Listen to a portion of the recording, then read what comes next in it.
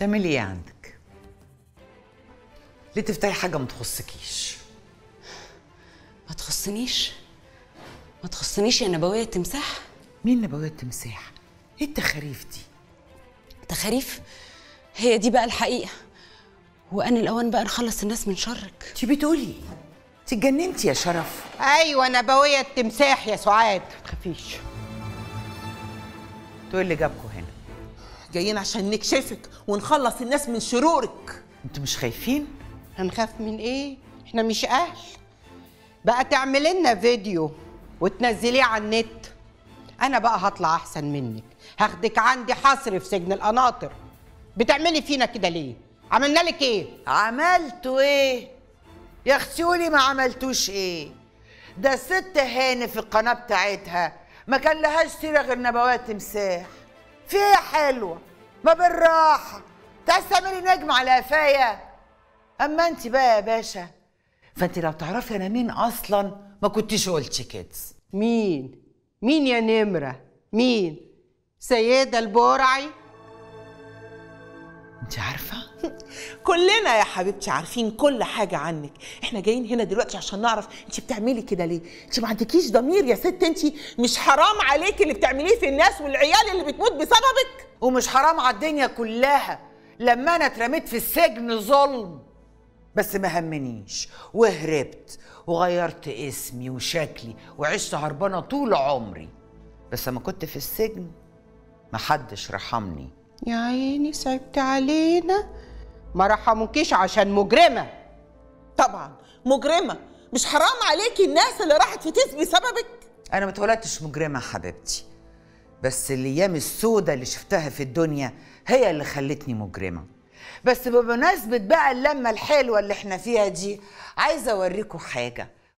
بصوا الخزنة بتاعت نبوية التمساح عمرانة بالصلاة على النبي. إيش فلوس وايش ذهب؟ وده إيه اللي جوه ده؟ يلا يا حلوة انت وهي. ما تخافوش. فايدك يا أختي. ما تقليش عقلك. أيوة. ما تقليش عقلك يا ما سعاد عنديش عقل يا حبيبتي. يلا يا طعمة. كتف أمك وصاحبتها. يلا. سلام. كتف أمك اثبتي مكانك. وقعت يا نبوية هاتي بقى ده عشان ما يعوركيش. عملتيها نور انت وانتصار بس معلش. هطلع وهلاقيكوا وهشرب من دمكم يلا يا أختي هتعملي فيها عشان ترك خدوها. يا عم بالراحة يا عم إحنا عملنا إيه يعني؟ لبسوها القميص بالعكس. متشكرة يا أحمد متشكرة جدا. تمام يا فندم. بالعكس أنا اللي بشكر حضرتك جدا. لولا مساعدتك ليا انت ومدام شرف ومدام انتصار. ما كنتش هقدر وأنا ظابط صغير كده أقبض على أكبر مجرمه في تاريخ مصر. شكرا يا فندم. العفو يا حبيبي العفو. تمام تمام. بقول لك يا فندم نعم. ممكن بس. نعم. يا استاذه انتصار. مرتبطة. بعدين بعدين. مش وقت مش وقت يا احمد تمام سعادتك يا مع السلامة مع السلامة.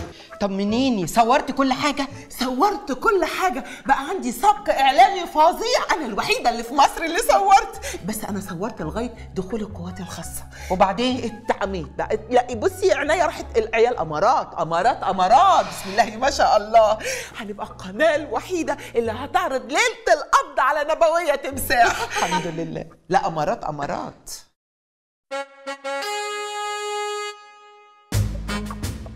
أنا مش قادر أفهم. إزاي مامتك تعرضك لمخاطرة كبيرة بالشكل ده؟ ما كانش في حل تاني. كان لازم انتقم من الست اللي سجنت أبويا ظلم. يا ست ربنا يسامحها. يعني إيه يا بابا؟ الست دي لازم تاخد جزائها. ذنبهم إيه الناس اللي قتلتهم دول؟ لكن أنت يا شرف إزاي اتفقتي مع ماما وطنط انتصار؟ أنا ما أعرفش حاجة عن طنط انتصار. أنا جيت لماما هنا حكيت لها على كل حاجة وهي حذرتني منها وقالت لي أبعد عن سكتها خالص. بعد كده جيت هنا. بصي يا شرف كف إيدك كده مفرود؟ أهو. على الأجزاء؟ أهو. غمضي عين وفتحي عين؟ بصي على الهدف قاعدة التنشين أسفل منتصف الهدف أعلى سن نملة الدبانة. اضرب!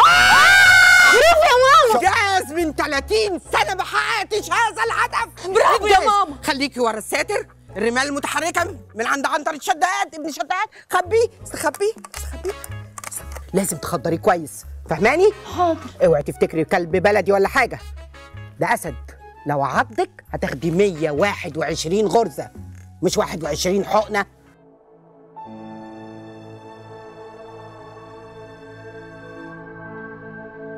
ودخلت على سعاد وهي نايمة.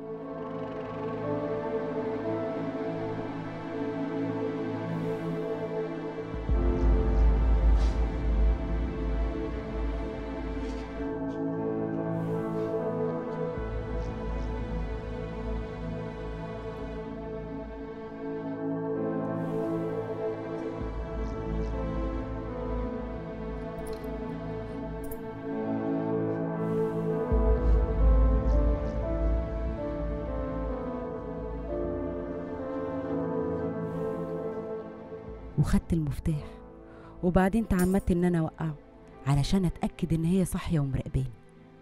وطبعا كنت متأكدة إن هي هتقوم تمشي ورايا.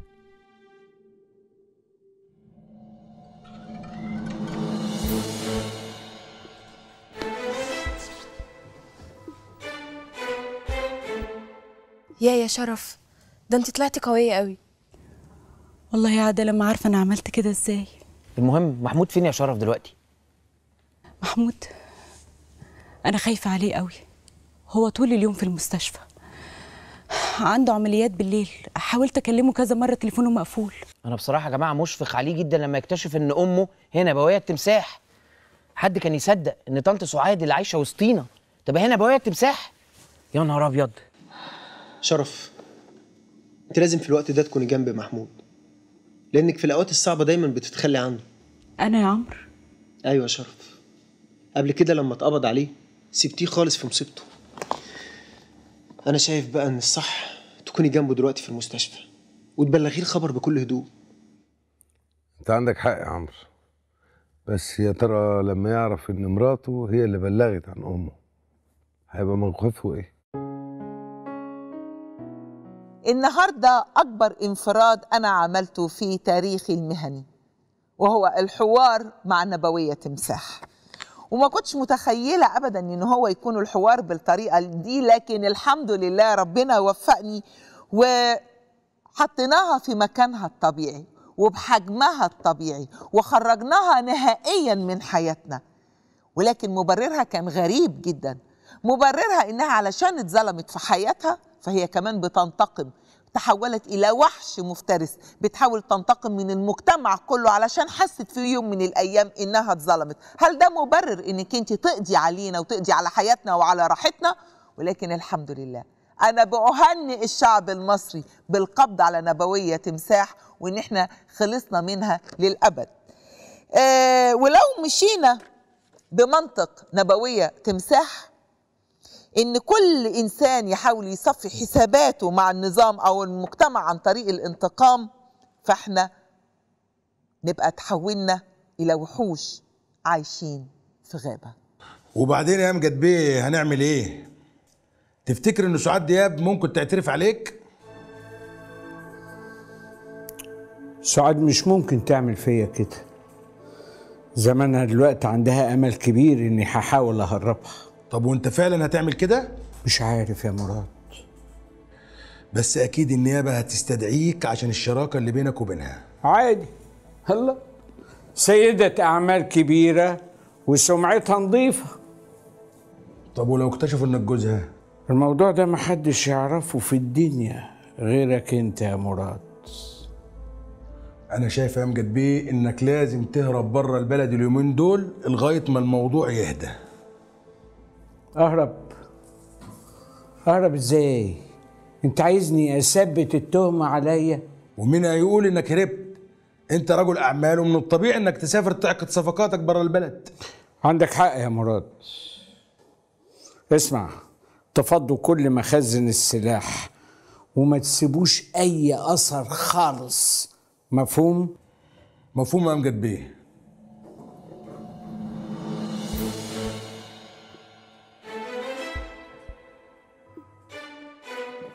سافر سافر فين؟ لندن. من غير ما يقول لحد فيكم؟ ولا الهوا. دي حاجة غريبة جدا. لا هو الغريبة إن هو يختفي بعد موضوع سعاد دياب. طب مش يمكن خاف لا رجله تيجي في الموضوع عشان هو كان مشاركها في مصنع المية؟ لا يا عمرو مش معنى إن هو كان مشاركها في المصنع فهو عارف إن هي نبوية تمساح. عموما ابوكوا طول عمره بيخاف على نفسه. أكيد قال لك كده انفد بجلدي لحد ما أشوف الدنيا ماشية إزاي. طول عمره ند نبيل. هو أنا سبته من قليل؟ أحط لك سكر؟ لا أنا لسه في مرحلة الرجيم وبروح الجيم كل يوم. عارفة بقى إن أنا فنانة و on stage فلازم أحافظ على نفسي. عشان كده حطيت لك سكر. حطيتي لي سكر فداك يا ست الكل. قولي لي يا تسالي هو المحروس أحاسيس بيشتكي لك مننا؟ كريم يقطعني. ما انت عارفة كريم يا ست الكل غلبان وما بيعرفش يشتكي ولا يتكلم. ده بيموت في أمانة. روحه في أمانة. دايما يقول لي بحبها وهي بتحبني يا ماما. أنا بقى قلت اجيلك يعني عشان انتي الكبيرة في السن اللي فينا. نعم نعم. الكبيرة في الم... في الم... في المقام اللي فينا. أيوه كده. قلت اجيلك بقى يعني عشان انتي تكلمي أمانة وتوعيها. تتقبل منك انت أمها لكن ما تتقبلش مني أنا حماتها برضو. ما تحوريش. قولي انت عايزة تقولي إيه. عايزة أقول ان كلك نظر يا ست الكل. ما ينفعش الراجل يعيش في جو الغيرة القاتلة دي. الراجل لما يتخنق ينط من الشباك على طول. مش معقول ابني نجم ومحبوب وصغير وأمور. نجاحه في معجباته. كل واحدة تكلمه ولا تبعت له SMS ولا تقول له على الفيسبوك أنا سمعت أغنيتك واتبسطت بنتك تغلي وتقعد على بابور مولع تنام ما تهداش. ابني كده بيتعكنن ومش عارف يشتغل. آه قول لها تخف شوية. اسأليني قولي لي. أنا حافظت على أبوه المدة دي كلها ليه؟ أنت حافظت عليه؟ أيوه. ما اتطلقتش لغاية دلوقتي ليه؟ ليه؟ عمري ما غيرت عليه. بيني وبينك مفيش عرس هترضى تبص له. طب ما أنت بصيتي له. عندك حق عندك حق. بس ابنك يعني لو كان زهقان خدي عندك يا حبيبتي فرفشي له قلبه بدقتين سجات من بتوعك.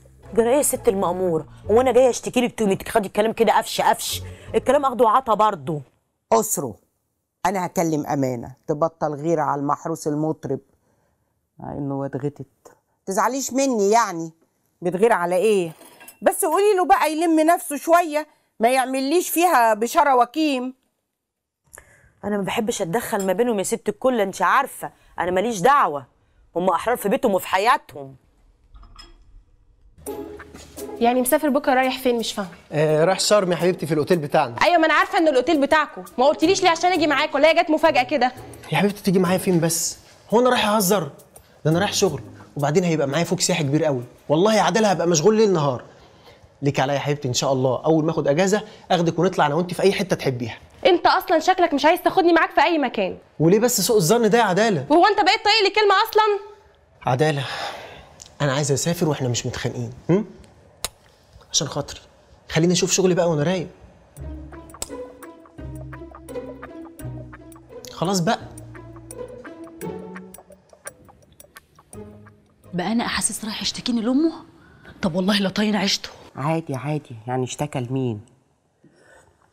محكمة الأسرة. دي تسالي. ده أنا ببص لها بعينيا كده لسانها بيكرمش. بس نصيحة بقى أم لبنتها انت اللي غلطانة ليه يا ماما بتغيري على إيه؟ ها؟ ممكن تفهميني؟ مدياله مقلب في نفسه فاكر نفسه أبو الليف إيه ده؟ أنا مش فاهمة الناس بتسمعه على إيه؟ ده زوره محتاج يتنكس يا بنتي عايزة أقول لك على حاجة فاكرة؟ فاكرة اما قلت لي عايز يتقدم لي وأنا رفضت خلي عندك ثقة في نفسك أنا الظاهر ان رخصت نفسي يا ماما لما اتجوزت في السر ما تفكرنيش بالموضوع ده لا فقفق لك وشك. بيعايرك يا بنت؟ بصراحة لا. هو بصراحة بيعاملني كويس إلا بقى لما نكون متخانقين بسبب موضوع الغيرة وبيبقى مش طايق نفسه وبيتنرفز عليا. تنرفز عليكي؟ ولا يهمك. هما الرجالة كده. في أول الجواز أي غلطة صغيرة يعمل نفسه مقبوس وزعلان. وبعد كده ما تنام يا أخويا لا مراتي ما نكدتش عليا حماتي ما قالتليش حاجة. هما كده الرجاله الراجل من غير واحدة ست زي الشقة على المحارة. ناقصة تشطيب. مدام انتصار أنا في موضوع كنت متردد إن أنا اقوله لحضرتك. ها قول يا إبراهيم أنا معاك. هو موضوع بخصوص عمرو. عمرو مين؟ عمرو ابني؟ حضرتك عارفة إن كل اللي شغالين في القناة هنا صحابي وبيحكوا لي على كل حاجة. طيب بيحكوا لك إيه؟ قالوا لك إيه على عمرو؟ من الآخر كده الناس بتقول إن عمرو على علاقة بسماح المراسله عندنا هنا في القناة. إيه الكلام الغريب اللي أنت بتقوله ده؟ هو فعلا كلام غريب وأنا ما رضيتش أقوله غير لحضرتك حتى هيام ما فتحت السيرة معاه في الموضوع ده خالص. وقلت أقول لك بدل ما الموضوع يوصل لمراته ويبقى فيه مشكلة. انت متأكد من اللي انت بتقوله ده؟ أنا ما رضيتش أقول لحضرتك غير اما اتحقق واتأكد بنفسي. واللي أكد لي أكتر إن سماح واخده أجازة بقالها يومين وقالت لزميلها في الشغل إنها رايحة شرم الشيخ. شرم الشيخ؟ ده عمرو كمان في شرم الشيخ. يا نهارها أسود. ده لو الكلام ده مظبوط ده أنا هنسفها من على وش الأرض.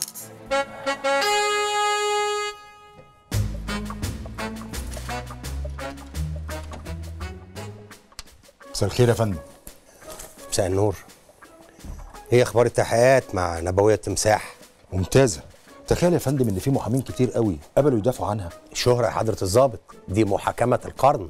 رغم اعتراف نبوية التمساح بحاجات كتير إلا إني لاحظت حاجة غريبة قوي في أقوالها. حاجة إيه؟ نبوية التمساح لها شريك أو شريكة بتتستر عليه. المحقق سألها سؤال مباشر. أنت ليكي شريك؟ قالت له إيه؟ أنكرت تماما. معنى كده إن في لسه مجرم هارب.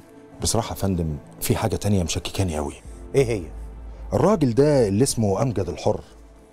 أمجد الحر ده صاحب سلسلة فنادق الحر. ماله؟ الراجل ده سافر تاني يوم القبض على نبوية التمساح. ده مش دليل يا حضرة الضابط على إنه شريكها ما هو برضه يا فندم شريكها في مصنع المية. مش شرط. أنت بس يا حضرة الضابط اللي بتشك في كل حاجة. يا طنط سميح أنا خلاص تعبت. أنا مش عارفة محمود هيفضل كده لحد إمتى؟ يا دكتور. يا دكتور. نعم يا أختي. محمود هيفضل كده لحد إمتى؟ شوفي بقى محمود خد صدمات كتيرة جدا جدا جدا. وأول ما عرف كمان موضوعك زاد. وأنا بحاول أخرجه من الموضوع ده. اتحسن شوية. جت حكاية والدته قضت بقى على الباقي كله وانهار تماما. أنا حاسة إن أنا السبب في كل اللي حصل له ده. ابدا. اوعي مش عايزاكي ابدا تحسي إن انت سبب في حاجة حبيبتي ابدا. مش معقول. واحدة زيك كانت هتتستر على نبوية تمساحه أيوه يا دكتور بس أنا المفروض كنت أقول له أحذره عشان ما ياخدش الصدمة بالشكل ده. يا بنتي انت عملتي اللي تقدري عليه. عارفة لو كنت قلتي له جايز جدا كان راح حذرها وكانت عملت حسابها. لا انت كده بتصرفك ده انقذتي أرواح ناس كتيرة جدا. والله خلاص أنا ما بقتش عارفة أعمل إيه. شوفي يا حبيبتي الصبر طيب. أنا اللي عايزاه منك كله إنك تحافظي على المستشفى. وده هيساعدنا في فترة النقاهة.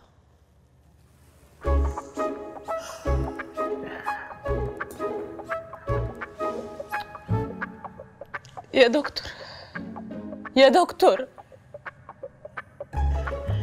نوليني يا أختي والنبي القلم وقع مني عشان أكتب لك الدواء اللي هتاخديه. اتفضلي. طيب تسلم إيدك.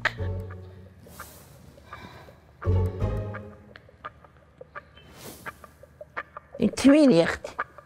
إلا صحيح اللي إحنا سمعناه ده يا أستاذ زكريا. وإيه اللي سمعته يا أخوي؟ قال الباشمهندسي طلعت متجوزة ابن نبوية التمساح. أيوه يا سيدي متجوزة ابن نبوية التمساح وكانت عايشة معاهم وهي اللي بلغت عنها. يا خرابي يا ولاد دي الباشمهندسة دي طلعت قلبه ميت. طبعا قلبها ميت. ده اني اللي هو أني لما بسمع اسم نبوية التمساح دي جتتي بتتلبش كده أهو كده أهو. طب وجوزها؟ عامل إيه معاه بعد ما سجنت لأمه؟ جوزها والعياذ بالله عاديكك على اللي جراله إيه مات؟ يا ريت كان مات. اتجنن. والعياذ بالله جاله استنجليني ودخل الصلاة الصف بسم الله الحفيظ. وبعدين؟ ولا قبل إيه؟ أيوه يعني هي عملت إيه؟ عملت إيه في إيه؟ اشق هدومي يا ناس. يا راجل يفهم. يعني هي لسه على ذمته ولا اتطلقت منه؟ الله أعلم بقى. طب بقول لك إيه؟ ما تجيب لي قرار الموضوع دي وليك عندي هدية كبيرة قوي. هدية كبيرة قوي؟ ده أني تحت أمرك أني خدامك. هم. يعني إيه عايزة تستأذن؟ هو إحنا شغالين هنا في سوبر ماركت؟ هنا في نظام. يعني عايزاكم تنسوا خالص النظام القديم ده. هنا في التزام.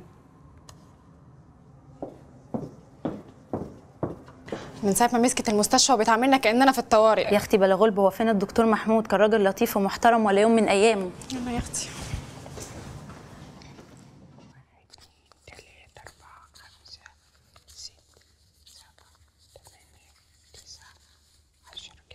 صح؟ مظبوط يا ست الكل. صح يا حبيبي كل شهر وانت طيبة.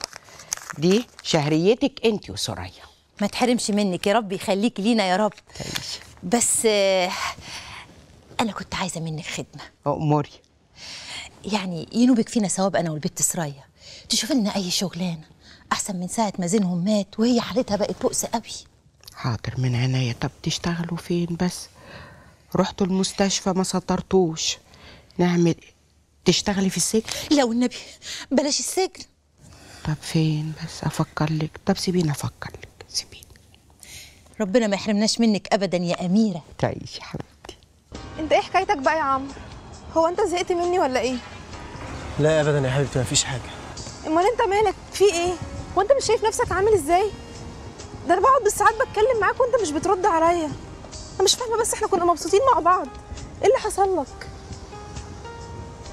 عمرو عمرو انت مش بترد عليا ليه؟ مفيش. أنا بس مخنوق شوية في الشغل في مشكلة حصلت كده وموضوعه هيعدي إن شاء الله. طب قول لي يا عمرو يمكن أحلها معاك. خلاص يا سماح موضوعه هحكولك بعدين. طب ده أنا كنت عمالة بتكلم معاك في موضوع من شوية وأنت مش راضي ترد عليا. معلش يا سماح قولي لي إيه هو الموضوع؟ خلاص يا عمرو مفيش. ما خلاص يا حبيبتي قولي بقى. موضوع جوازنا يا عمرو هتعمل فيه إيه؟ ما هو أنت يا سماح رابطة موضوع جوازنا بطلاقي. يا عمرو أنت لازم تفهم إن أنا عمري ما أهلي هيوافقوا إن أنا أتجوز واحد متجوز. أنت ليه مش عايز تفهمني؟ يا حبيبتي وأنا كمان مش عارف أطلق دلوقتي. هو أنت برضو مش قلت إنك مش سعيد مع مراتك؟ أيوه ده صحيح. بس أنا بصراحة مش لاقي السبب القوي المقنع اللي يخليني أقدر أطلقها واللي هيبان بقى إن أنا بفتري عليها. وأنا سماح بقى مش هقدر أعمل ده. بتفتري عليها؟ هو أنت إيه حكايتك يا عمرو؟ هي الحكاية بقت كده. ماشي يا عمرو خليك على راحتك. بصي البت دي ليلى القرعة مغلباني يوم ويوم لأ حبس انفرادي. مم، شكلها حويط كده. قوي قوي شهوار انت عارفها. لا أوريك البت دي. البت دي بقى سناء ما عطلكش طيبة طيبة مش قادرة أقول لك آه يا طيبة أمال في السجن ليه يعني؟ آه حكم آه آه. طيبة. طيبة. ماما. مظلومة. ماما. في إيه؟ الحقيقة يا ماما عدالة واحدة كلمتها في التليفون وقالت لها إن جوزك بيخونك مع واحدة في شرم الشيخ. إيه ده؟ إيه التخريف ده؟ انت بتقولي إيه؟ شرم مين اللي خانها مع عمرو؟ أنا مش فاهمة حاجة. الله أختك راحت فين؟ سافرت له على شرم يا ماما. تسافر لمين؟ ده ولد ندل ليه ما منعتهاش تسافر لوحدها؟ ما قدرتش امسكها. جريت مني على طول. إيه الكنان اللي بتعمله عدالة ده أنا مش فاهم. آه، كلميها كلميها على الموبايل واديها لي.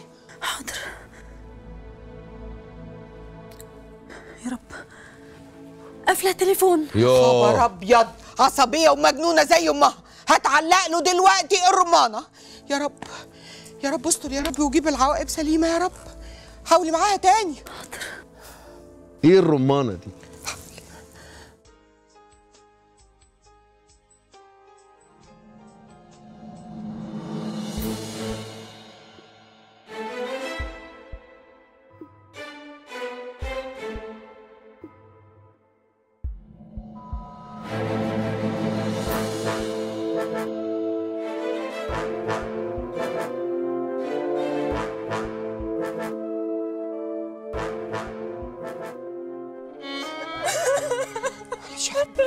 معلش يا حبيبتي ما تعمليش في نفسك كده. مفيش حاجة في الدنيا تستاهل. منك لله يا ابن انكسار. أنا قايلة قلة الأصل في العيلة دي وراثه أنا بصراحة بقى مش مصدق إن عمرو يعمل كده. لا صدق. ده عيل مستنقع. بس أشوف أنا اشوفه وأنا هجفف منابع أهله. أنا برضه يا بابا مش مصدقة انه يعمل كده ابدا. ده كان بيموت فيها. أكيد الموضوع ده فيه سوء تفاهم يا ماما. سوء تفاهم إيه؟ سوء تفاهم إيه؟ اهدي اهدي خدي اشربي. هل سوء تفاهم. إيه؟ اشربي اشربي. العيال دي قلبها ميكروباص. أول ما يشوفوا زبون يقولوا له اركب اركب منك لله يا ابن انكسار. كسرت قلب بنتي. منك لله. معلش.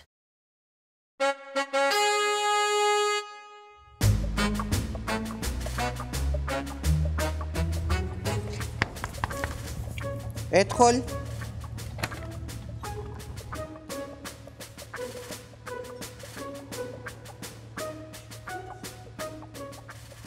أدخل يا فندم.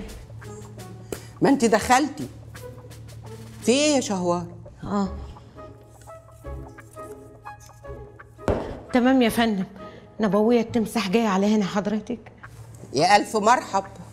مكانها في بيت الزواحف موجود. أنا عارفة من امبارح إنهم هيرحلوها على هنا. يا نهار أسود يا نهار أسود. مالك خايفة ليه؟ إجمادي إجمادي ولا يهمك منها. أجمل. أنا ما كنتش أخاف من ابوية التمساح. هخاف من مين يا فندم؟ من ستي. لا ما تخافيش. التماسيح بتحب تتغذى على الحاجات الأوزي مش أنتي.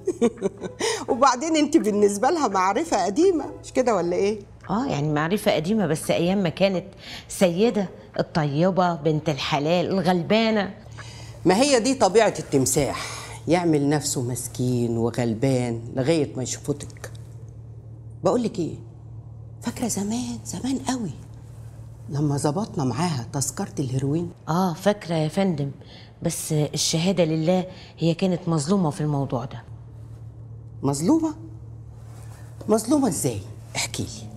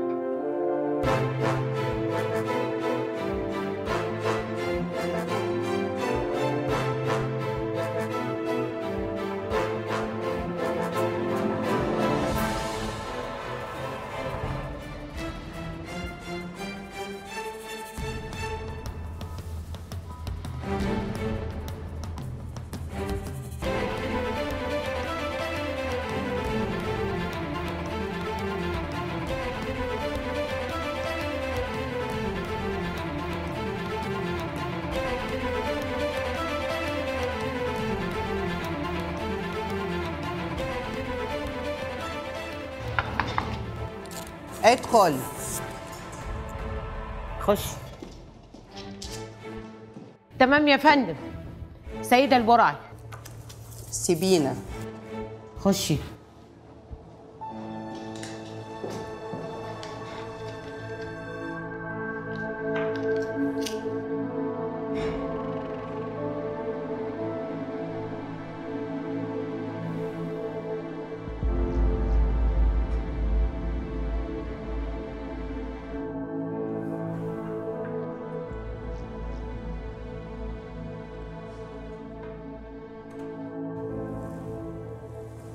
ازيك؟ ارتحتي لما انت وبنتك جبتوني هنا؟ إحنا اللي جبناكي ولا عمايلك السودة؟ بص يا نور أنا هخرج من هنا يعني هخرج من هنا. اوعي تفتكري إن أنا كنت بشتغل بره لوحدي. بصي يا سعاد في حالة واحدة بس ممكن تخرجي من هنا. أما تتحولي بورس. ناوية تهربي يا حلوة؟ لو جت علينا طرب السجن ده على اللي فيه عشان أخرج هعمل كده. عليا النعمة. انت وليا هجاصة وبطنك فاضية. ما تستغلي وجودك هنا في السجن. تعلمي لك شغلانة. إحنا ناقصنا مكواجي تعرفي تطبخي ولا أقول لك ارجعي لربنا. يمكن يتوب عليكي ويغفر لك. انت عايزة إيه مني؟ لا اتكلمي بأدب. لحسن ورحمة أمي. بلاش. انت برضو مسجونة عندي. صح. حاضر. يا باشا. أهو كده جيبي واطي. من 25 سنة كده ليه حطيتي له مخدرات في عربيتي؟ وليه لفقتي قضية لجوزي ملوش ذنب فيها؟ إيه ده إيه ده إيه ده؟ جوزك إيه وقضية إيه وعربية إيه؟ إيه الكلام اللي بتقوليه ده؟ لا استعباط ما بحبش الاستعباط. الله ما فيش أي حاجة من اللي بتقوليها دي حصلت. أمال مين اللي حط لي المخدرات في عربيتي؟ وأنا مش عرفنا أنا. أنت ليه مش عايزة تقولي الحقيقة؟ حقيقة إيه؟ لا إله إلا الله. بصي يا حبيبتي أنا ياما عملت جرايم آه معترفة. لكن جوزك ومخدرات وعربية حد الله ماليش دعوة بالموضوع ده خالص. ولا اكدب يعني؟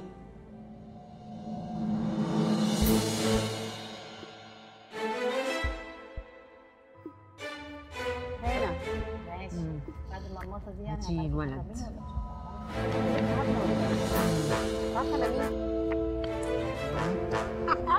راح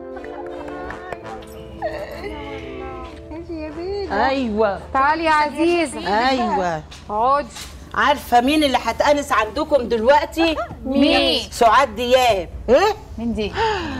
سيدة. عارفين مين سيدة دي يا نسوان؟ مين؟